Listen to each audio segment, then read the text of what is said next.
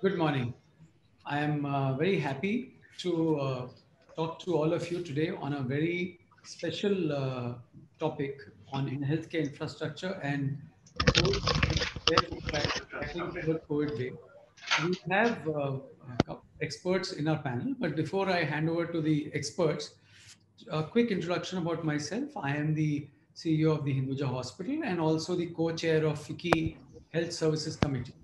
So as you all know that as we are battling the second wave and preparing for the potential third wave, the rise in positive cases and deaths have compelled uh, the government to revisit the current vaccination strategy. And we are focusing on 100% vaccination, vaccination co uh, coverage as a rational way to curb this pandemic. Currently, the government has, uh, the country has vaccinated more than 24 crore uh, people, more 24 crore doses in the country. And a rapidly dropping vaccination uh, rate uh, has happened in the past uh, month or so. And it is probably due to the uh, reduction in vaccine supply. And also the, considering the large population size, we need to increase the vaccination maybe five times to what today's level is and in some states like in North, like UP and Bihar, we maybe we'll have to make it eight to nine times to reach the target of vaccinating all adults by December 2021. Now, there are reports which are suggestive that children below 18 years of age are also uh, are, are likely to get infected during the third wave. And vaccines for this age group is not available now. And in preparation for that, many states have already begun ramping up the beds and intensive care beds uh, for children, strengthening the pediatric wards and uh, oxygen beds. Now, whether it will happen or not, and I hope it doesn't happen, but uh, we will hear from our experts on that. The impact of COVID has turned out to be more profound in rural India as the tier two and tier three cities have witnessed a higher uh, fatality rate comparatively.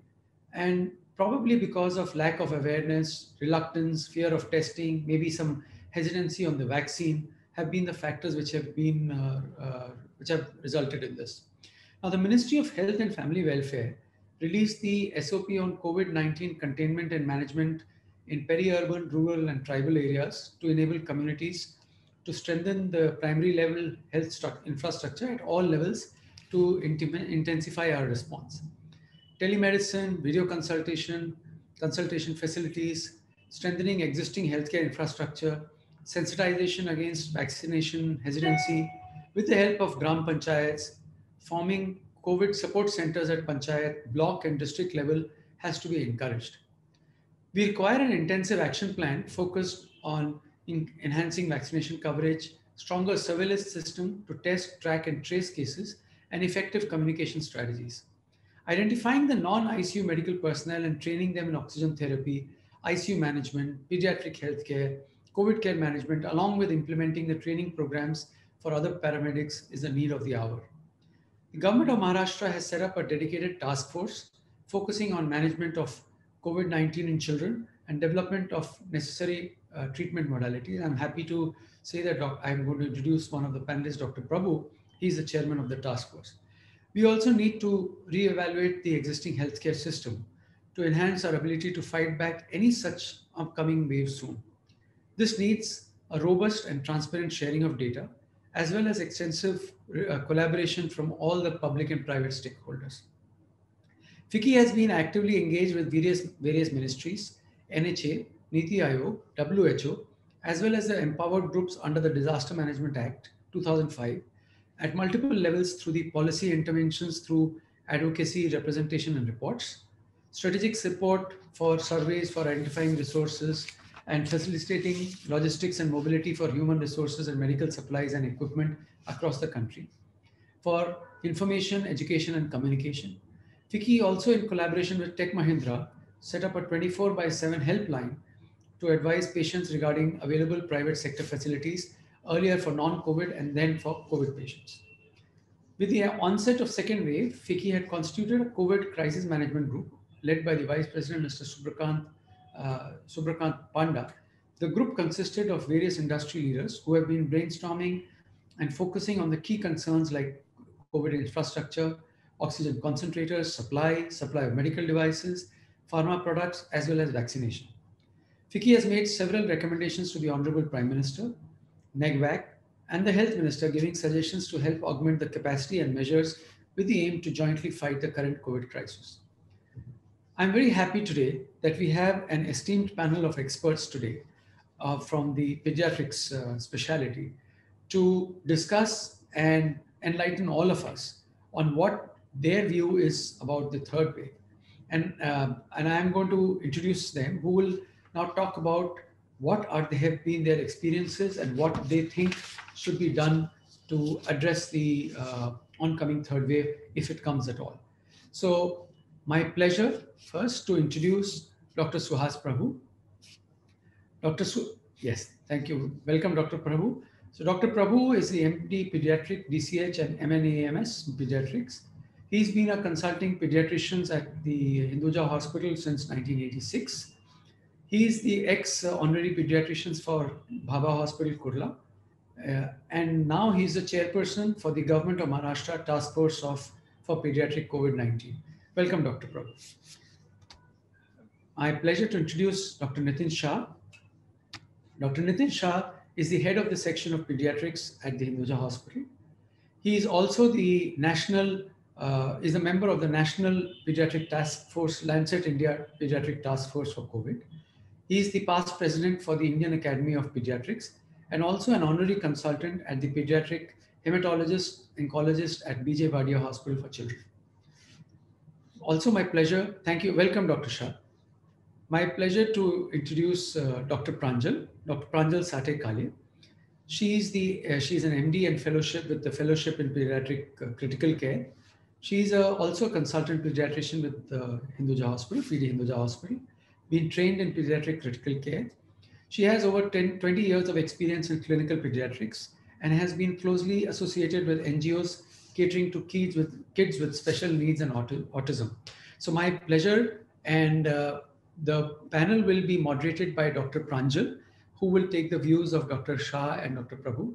I'm sure it is going to be an enlightening panel. So thank you, welcome, and over to you, Dr. Pranjal. Well, uh, thank you, Mr. Shah, uh, Mr. Khanna, for setting up this space for this webinar. Well, in pediatrics, we have always learned prevention is better than cure, which is the first step towards health. Second step is early detection and awareness is the key for it.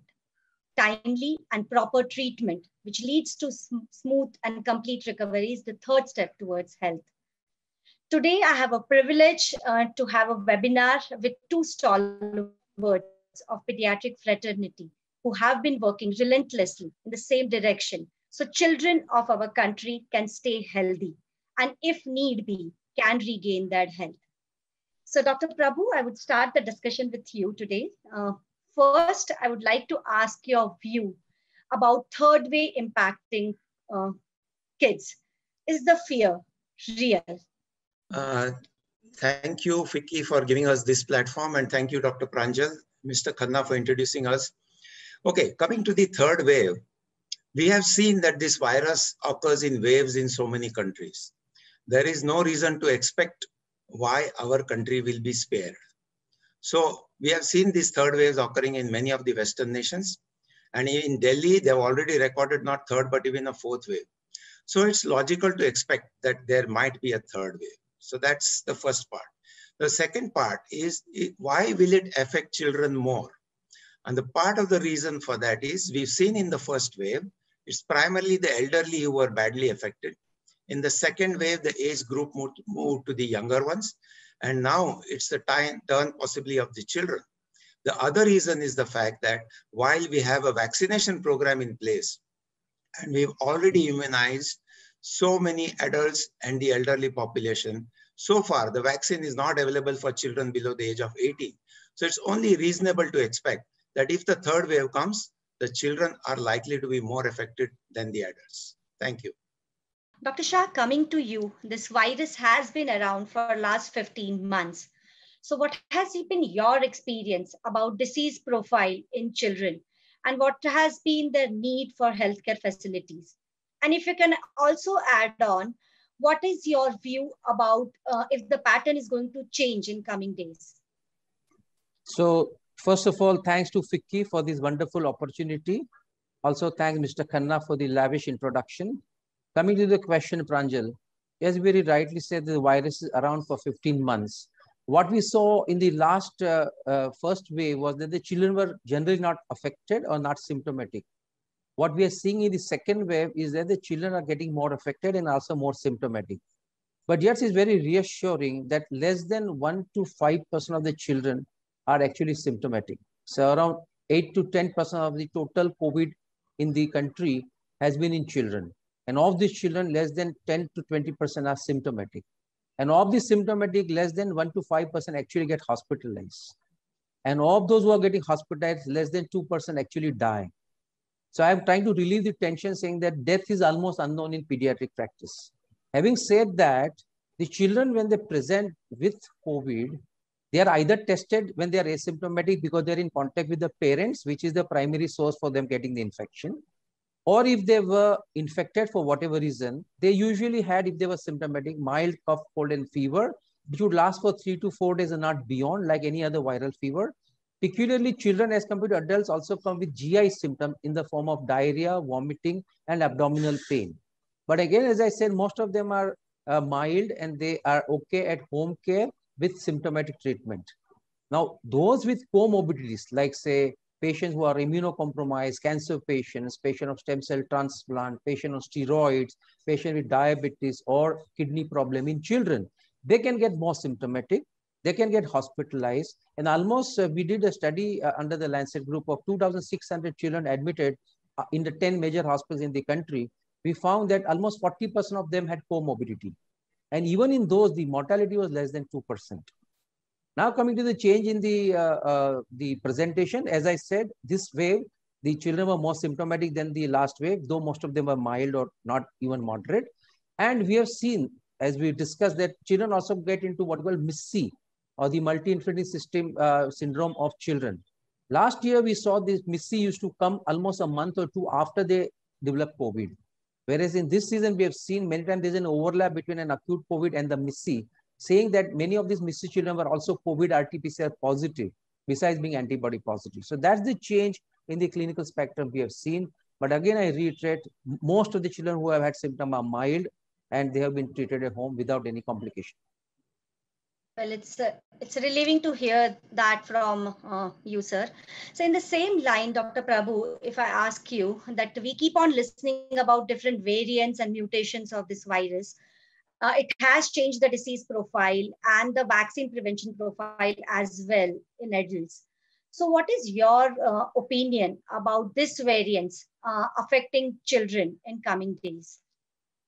Uh, thank you for that question. I think there's a lot of concern everywhere about uh, variants. In fact, there is a term coined variants of concern, VOC.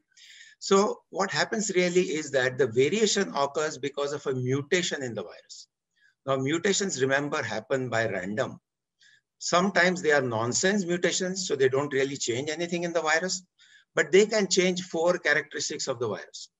One, it can change the rate of transmission so that the virus becomes more easily transmissible from one to another. So this accounts for more rapid spread from one person to another. That's the first change. The second variation that can occur is in lethality. That is the chances of getting a complication or getting, you know, mm, mortality and death also occurring will be more if it is more lethal. The third is what is called as escape variants. That is the virus is able to escape the antibodies that are produced. Now, this may be either because of a natural infection, previous infection, or because of vaccination. But the concern really here is that if you can escape your antibodies, then you can possibly get a second and maybe even a third infection. So that's the third one. And the fourth, of course, which is less uh, relevant for this virus, is drug resistance. We know that uh, drugs uh, of course, they have very limited role, at least in children. But drugs like remdesivir and favipiravir have been used.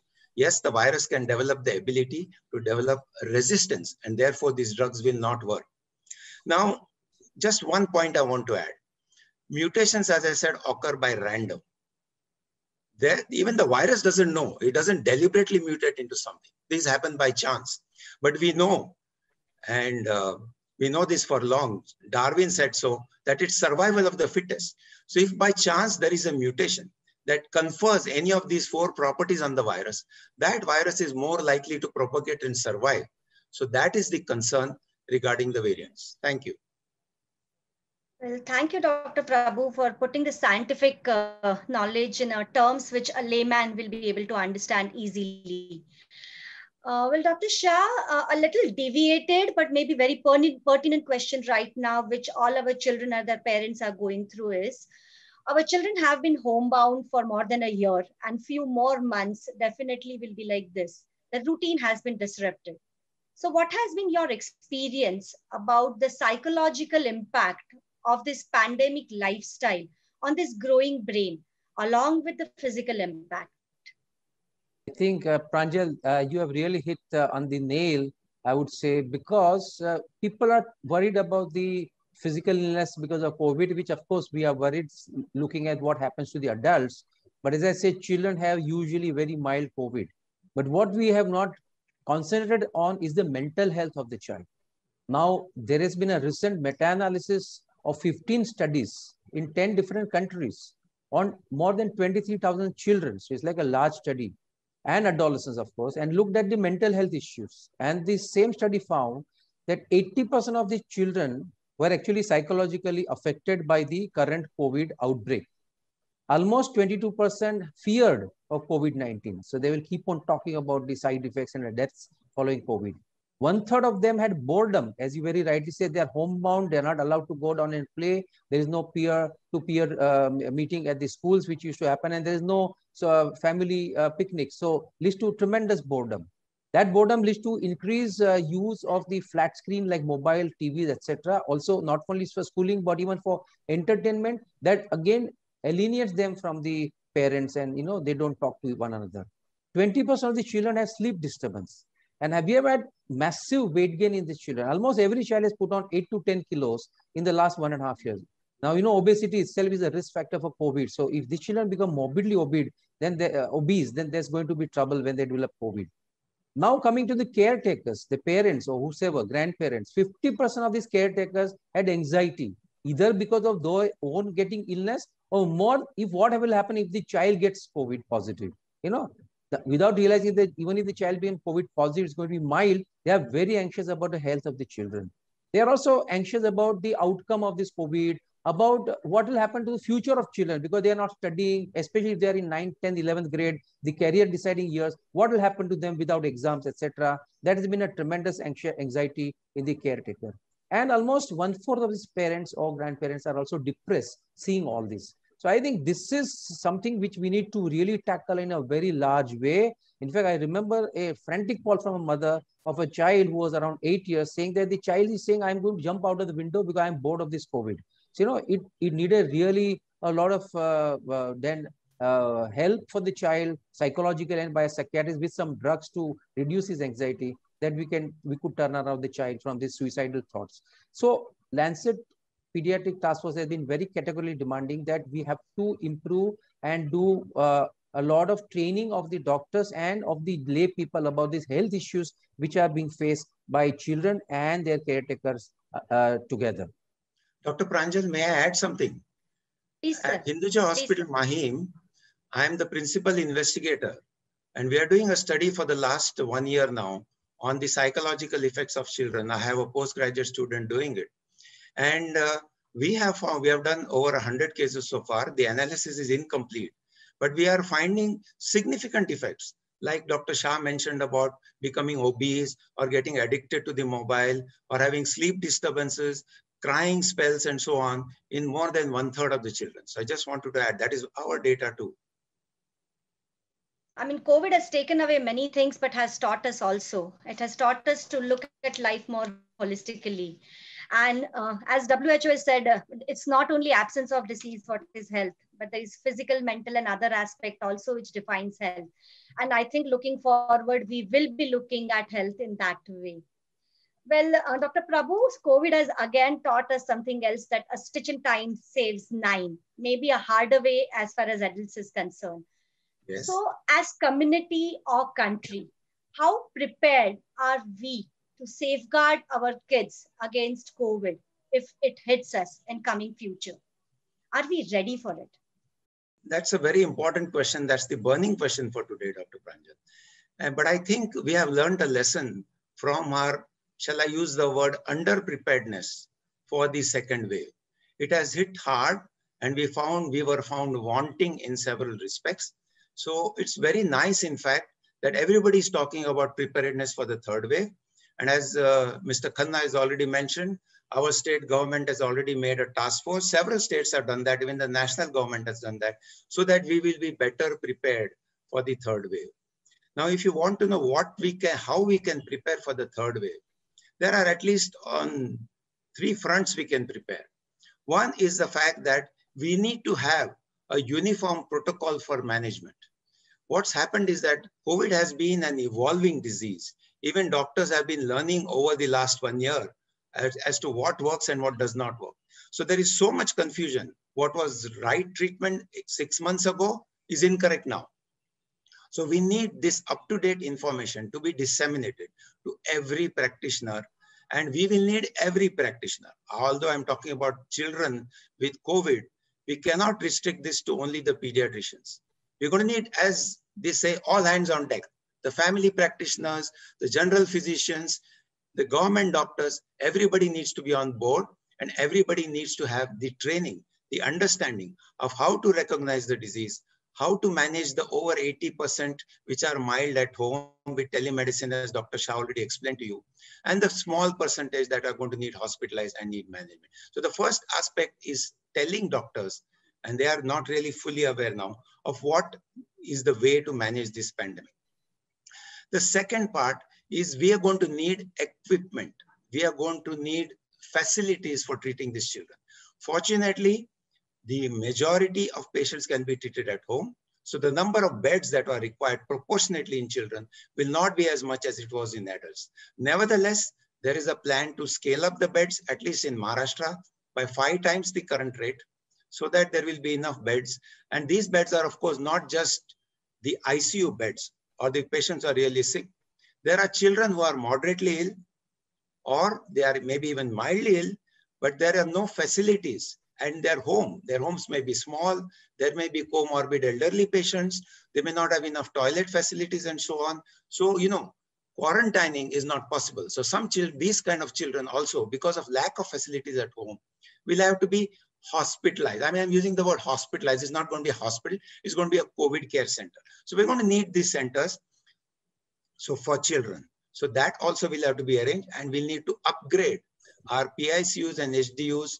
And for that, we're going to need additional equipment. We're going to need ventilators. We're going to need syringe pumps. And of course, we're going to need staff that is well-trained to handle these children there. And pediatric intensive care nursing is really a specialized uh, branch. And Dr. Pranjal, you are an intensivist. You know that every pediatrician or general practitioner will not know how to ventilate, say, a, a 15 kilogram child. So that calls for expertise, so that has to be done. And the third point I want to talk about, and of course, there's going to be a need of medications also. We've learned a lesson from the lack of oxygen that we faced in the second wave. So that's going to be, I won't use the word hoarding, but there's going to be arrangements made to see that we don't run short of these medicines like oxygen and in children particularly, although we don't use so much of remdesivir, tocilizumab, or favipiravir, favipiravir at all, we use other drugs. We need methylprednisolone. We need a drug called intravenous immunoglobulin, which is hardly used in adults. So we need to make sure that these are available. But lastly, the most important thing, that we need to educate the public. They need to know that their child, their children are safe. They need to know how to recognize and not keep fever children at home. Seek aid and be assured that the physician they are going to, it may be the local family doctor, it may be a pediatrician, it may be a government clinic. They all are on the same page. They know exactly what to do and the child is in safe hands. The second thing they need to know is that when the child is at home, while he may be mild initially, there are chances that he may deteriorate. So they need to know how to monitor the child at home this will be, of course, explained by the doctor treating. So this is the concept of telemedicine that Dr. Shah spoke about. The child is at home, the doctor is monitoring from his clinic on a daily basis or maybe even more often so that the child if he starts deteriorating, the, the uh, help uh, can, is at hand and he can be referred immediately. So there are certain what we call red flag signs that the mother or the caregiver at home needs to recognize so that they can immediately alert the doctor and take the child. So I think these are the aspects that our task force has recommended the government. And I think uh, we are making good progress and hopefully we should be ready for the third wave if and when it comes. Thank you. Yeah, our children are not miniature adults, and I don't think so. We can share the same infrastructure with adult setups, especially human power or the man force. I understand. Well, Dr. Shah, coming to you, in adults, we have seen, seen certain issues with the drugs, the equipments, and the treatment per se causing problems. So this was because of lack of protocols or the protocols were not uniformly distributed or uh, disseminated. So do you think so? Our, do we have any protocols in children? So we don't go through the same mistakes which adult men went through because our children are more sensitive in all these aspects. So Dr. Pranjal, as I said, in the first wave, hardly any children were symptomatic. And those who were admitted had massive comorbidities. So they were in tertiary care hospitals where these protocols were in place. In the second wave, suddenly pediatricians have been also become busy like the physician in treating this patient. Of course, all of them are mild at home, but they learn that they have to be prepared. It's not that children don't get COVID. So I think after that, now we have made protocols. And in fact, there are several protocols. Uh, you can get a lot of protocol from WHO and international agencies, which may or may not be as applicable in our milieu, uh, like developing country as India is. So we have a central government protocol for management of pediatric COVID largely based on what the AIIMS uh, protocol for pediatric uh, uh, treatment of uh, pediatric COVID was. And in fact, they had uh, held a national meeting where a lot of pediatrician and family physicians also attended to that first protocol that was released by All India Institute of Medical Sciences.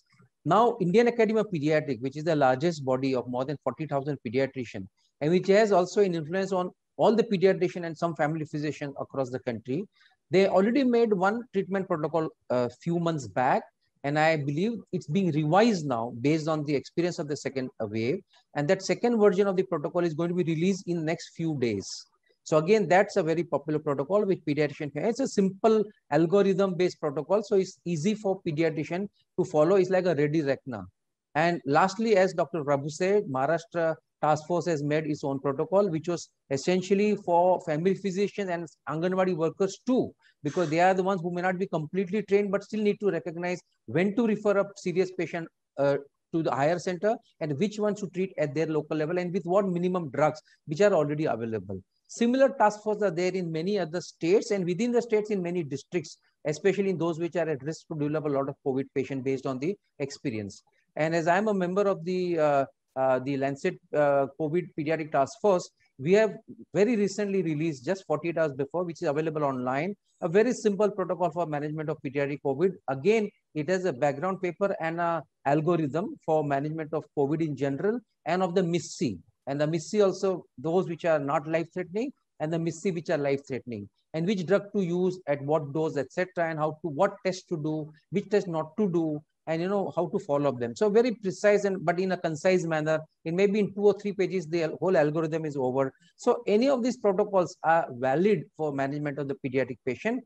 And now the question will come how to dissipate this protocol to the end user because it's one to make a scientific protocol, the other to dissipate it to the people. And I think that's where the capacity building is going to happen, both from the center and the state whichever protocol you use, but that has to be dissipated. So the Indian Academy of Pediatrics is already doing IAP pediatric COVID training. The central government is already doing through AIIMS and otherwise. The state government, uh, as Dr. Prabhu said, is already held two meetings where more than one lakh doctors and paramedics were uh, uh on, uh, live attending this, and now they have the protocol with them. And the Lancet Pediatric with the Ministry of Health at the center is going to very soon start capacity building and uh, training of the trainers so that these protocols can percolate down to the smallest place.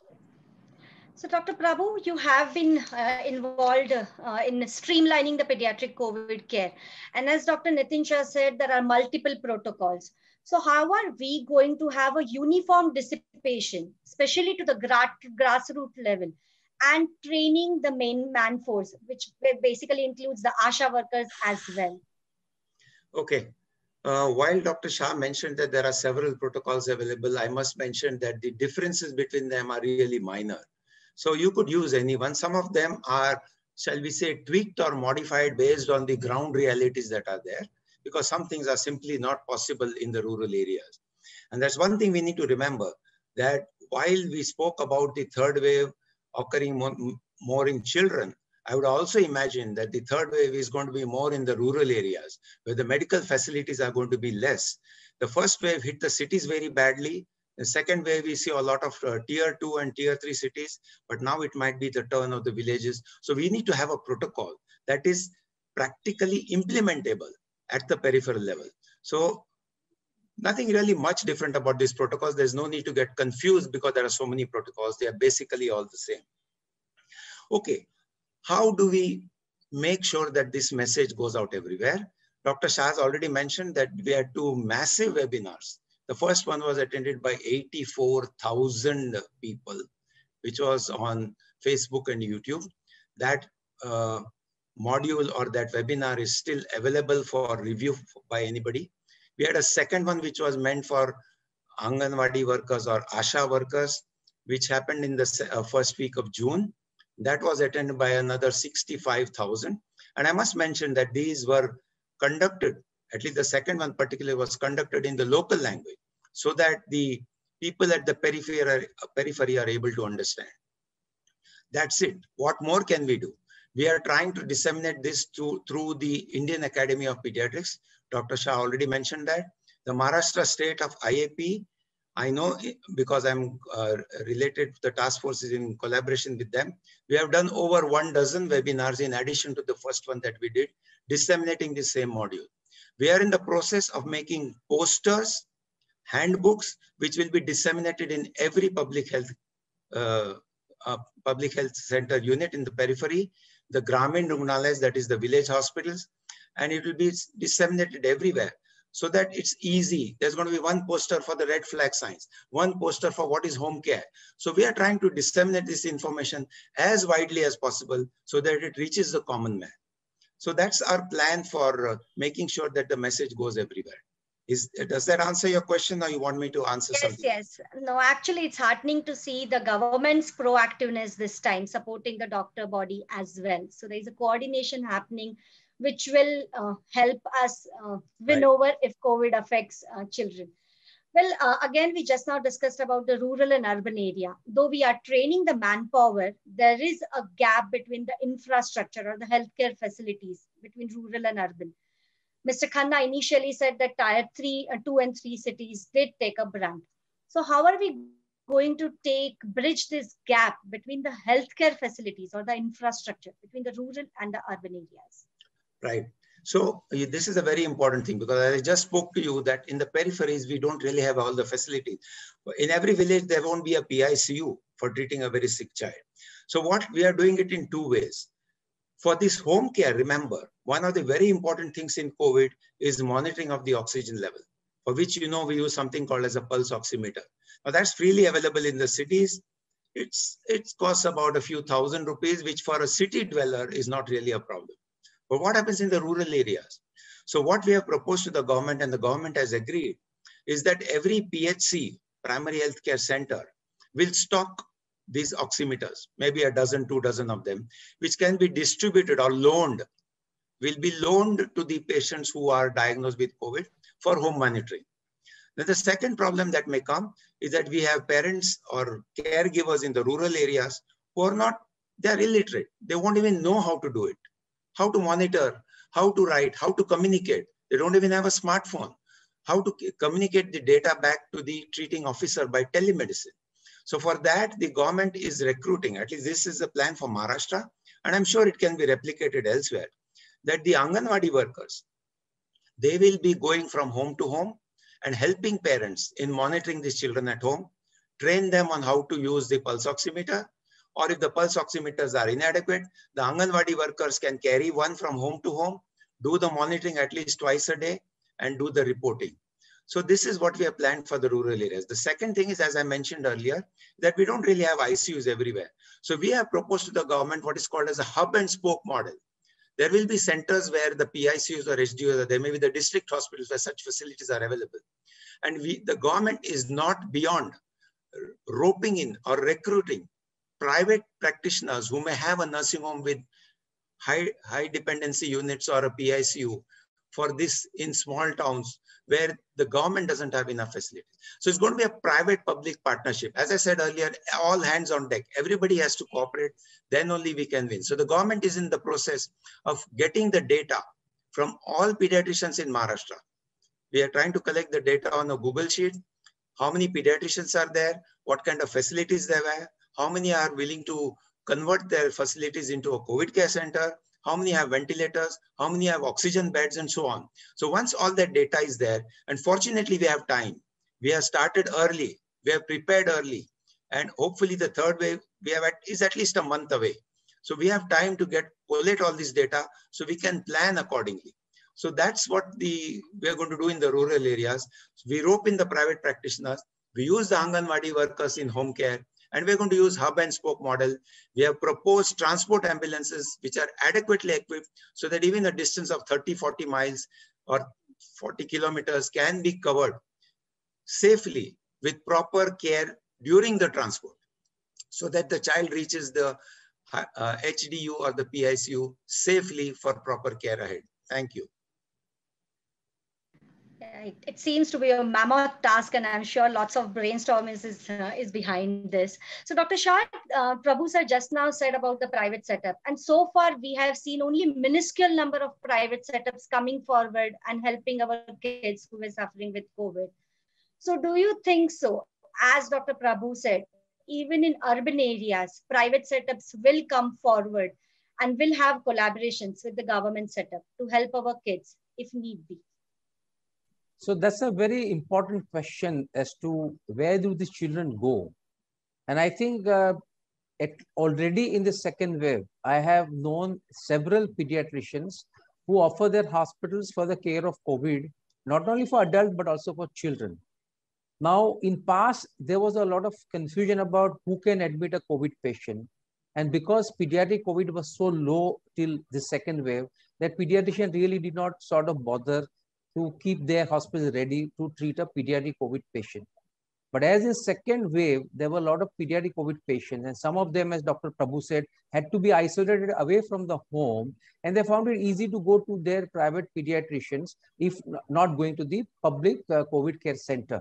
So in many states, I know, the local authorities were very helpful in granting permission to allow these COVID patients to be admitted in nursing homes.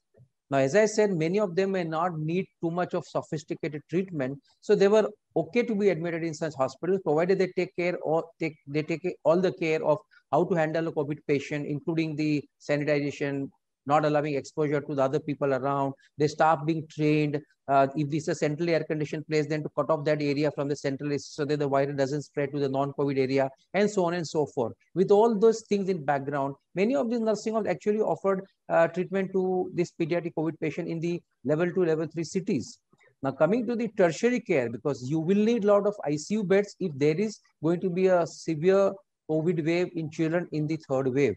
Of course, first of all, I have my own reservation that I have a hope and I, I hope it doesn't happen. But should it happen, we should be prepared. So I think a lot of private hospitals, including the tertiary hospital like say Hinduja Hospital, which was so far not having separate pediatric COVID facility because there was no need to have one. As I said, there were hardly any admission in the pediatric sector. Now have prepared on their own.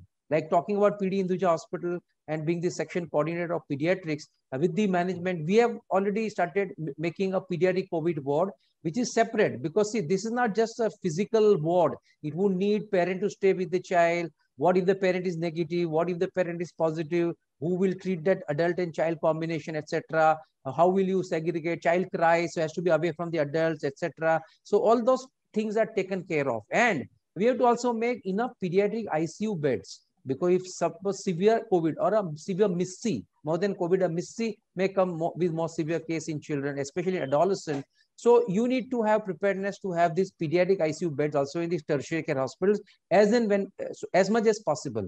So we have also enabled in Hinduja Hospital eh, within the pediatric COVID ward to have some pediatric ICU beds. So I think if Hinduja Hospital is done, I'm sure a lot of other hospitals in the city like Mumbai and also such cities all over the country can actually offer uh, beds for pediatric patient and keep them ready and do not give it to the adults to share. Keep it reserved for pediatric. It will help a long way to alleviate the anxiety in the minds of the parents that where will I check my child if he becomes serious?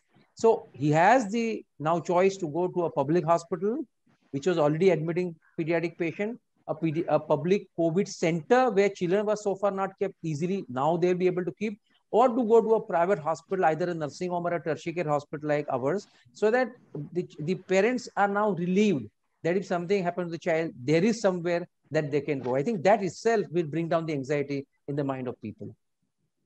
It's better to be prepared than to regret. Uh, and so far, COVID has given us multiple opportunities to regret.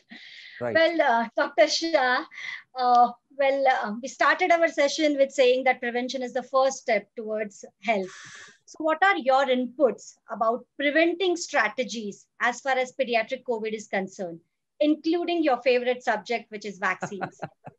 so, uh, first of all, we have known that as children are not going to the school, they many of them don't go down to play with other children where they can get infection from other child who is asymptomatic. So the only way a child as on today gets covid is from the parents or someone from the family members. And that has been the experience that almost 80 to 90 percent of pediatric covid patients that we have seen in second wave have been because of someone in the family having covid. So if you have prevented covid in adults and you have isolated those adults away from the children, that itself will prevent COVID in children.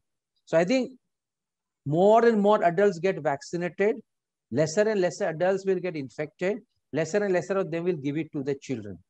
The second thing is the schools cannot remain closed forever. The schools will have to reopen someday. And I think there are several countries where if they reach, a threshold of 60, 70% of vaccination in the community, uh, they have opened up the school like say Israel is one such experience. So if that is happening, then we also need to vaccinate children because they are the vaccinate children from 12 to 18 years. And now they are also going to vaccinate children from 6 to 12 years. And there are several vaccines which have trial done, like the Pfizer vaccine, the Moderna vaccine, have already shown a near 100% efficacy in the trial form in, again, any severity of COVID in children.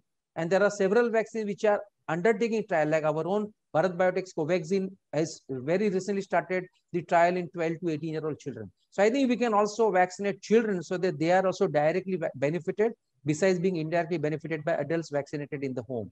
And third thing is whether you have taken vaccine as an adult or a child, there is no respite to the physical distancing, wearing the proper mask and sanitization uh, to continue till you have actually eradicated this virus from the world. So I think we'll have to keep on training the children. In fact, children are more uh, now easily trained in last one year that they automatically would wash their hand, they will sanitize the hand, they will adjust the mask. Even when they come to our clinic, we see a two and three year old children who actually by definition don't have to wear a mask, but they still wear a mask very happily. And I think more so when they go to school, that they need to have this etiquette, what you call COVID appropriate behavior to be followed to the core so that they don't infect themselves, other children and the teachers in the school or the elderly back home. So these are the various prongs of strategies that you can use to prevent COVID in children. Well, uh, it's nice to hear that so many things have been thought about and implemented so our future generation stays protected.